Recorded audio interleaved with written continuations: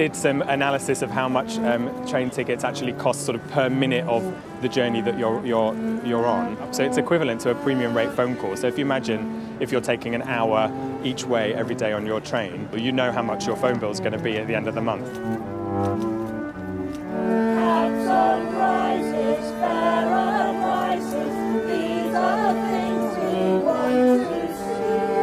Also really short-sighted of the government. What they should be doing is investing in affordable, convenient public transport rather than investing in loads and loads of new roads. That way, they'd sort out the obesity crisis, the public health crisis, and they'd clean up all our air. It's a growing trend of people working part-time, people working flexibly, and we've had some terrible stories about people on zero hours contracts who maybe have to travel before they're certain that they, are going to be working that day. So it's really important that fares are as fair and flexible as possible to reflect uh, the world we work in. People quite fairly are asking, well, why are we having to pay even more for, um, in many cases, a service that's getting worse?